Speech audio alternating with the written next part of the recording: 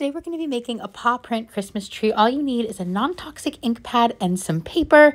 The number of paw print designs you're going to do is going to depend on your dog size. For us, three was the right number.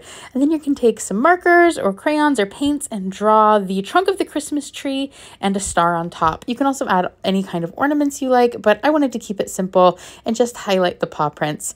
This is a super fun, easy, holiday craft for any dog who is comfortable having their paws touched. Merry Christmas!